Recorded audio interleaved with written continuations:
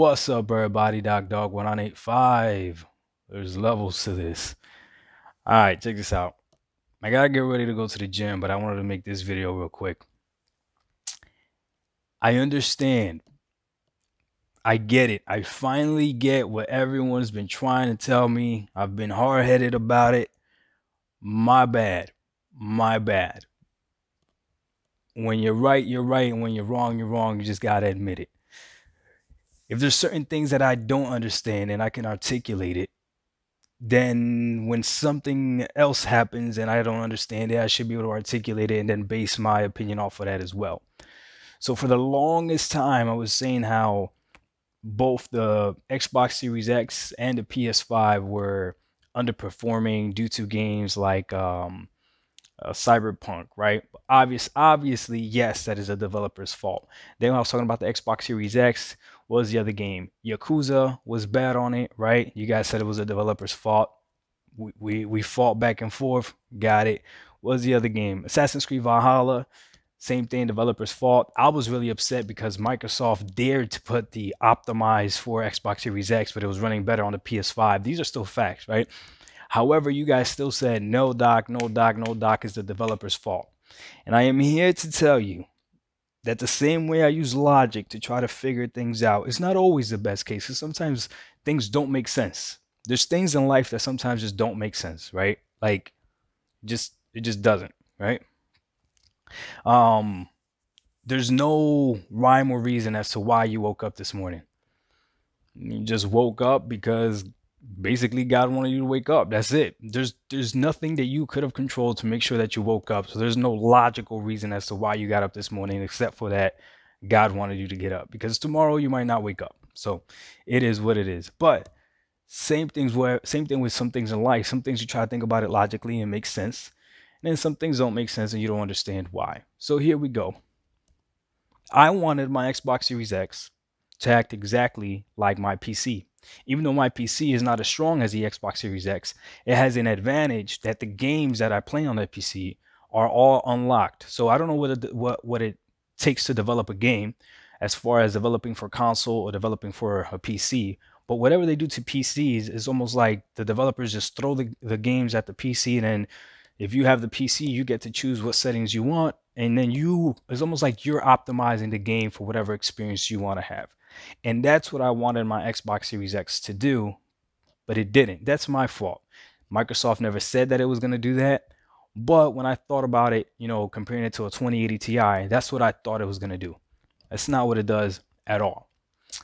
Games have to be optimized for it. That's why I still have a problem with Assassin's Creed Valhalla. Because Assassin's Creed Valhalla is not, in my opinion, is not optimized for Xbox Series X. I don't know if they patched it up yet, but regardless. I'm going on a rant. Let me bring this back in. This is what I mean by I understand what you guys meant. And if I'm going to use logic, I have to use it with everything. Right now, I, like I said yesterday, yesterday? Yeah, yesterday I finished beating Gears of War 4, Gears 4, right? And the game on the Xbox Series X on a 4K TV just looked amazing. I have no idea how many frames is running. All I know is that it's smooth right? And that's the only thing that matters. Is the gameplay smooth? If it's running at 40 frames, but I but to me it's a smooth experience, that's the only thing that matters, right? So the game was running smooth and it looked amazing. It looked beautiful. Like those parts in the games I, I couldn't even believe that this game came out for the Xbox One. Now, I grabbed that game and like I said, I connected my Xbox One yesterday and uh, my Xbox One S, and I played Gears of War 4 after I beat it. I just started playing it just see see what the difference is. It's a huge difference. It still looks good on the Xbox One S. So if you've never played it on the Xbox Series X, you're still gonna think the game looks beautiful. But once you play on the Xbox Series X, you're like, okay, no, there's a huge difference. On PC, Gears of War 4 also looks great at 1080p. It's not even playing at 4K, but it looks great because I'm getting a lot more frames, so it's running really smooth and everything. It looks it looks beautiful as well. But still, that 4K 60 was just completely different, especially on a big TV and everything was just completely different. I started Gears 5 yesterday. Oh my god, my mind was blown when I started this game. Blown. The game looks amazing, looks beautiful. So th- this is what I'm saying if an old game, right, because Gears 5 is still an old game, right, can look and run like that on the Xbox Series X, there is no excuse for any game not to be able to do the same thing. At that point, it is not the machine's fault. I agree with you. It is the developer's fault. Learning has happened. You guys can clap for me.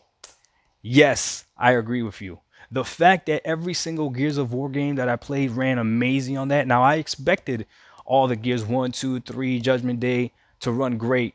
Four, I didn't I didn't I didn't know it was gonna be that amazing on it. And now five that I'm playing five is just I'm my mind is blown. Like the game is beautiful. Beautiful. If the coalition could do it, every other developer should be able to do it. They should be able to do it. And now going forward, games that will be made for the Xbox Series X and the PS5 better beat that benchmark. They better beat the Coalition benchmark. Whatever graphically intense game Sony has from the PS4 days, I guess. I don't know. With Ghost of Tsushima, I heard that that looks really good. They better beat that. So, my bad. I can admit when I'm wrong. Microsoft, I'm not. The only thing I'm blaming you though in Microsoft is you're not gonna put optimize on a game. That is you. You're allowing these companies to put a, a logo saying optimize for Xbox Series X and it's not. That falls on you. But as far as any game that's not labeled as optimized, if it doesn't run well on the Xbox Series X, yeah, it's the developer not knowing how to do it. That's it. It is what it is. Doc Dark 1985, yo, there's levels to this. And when uh, learning happens, there's levels to that too.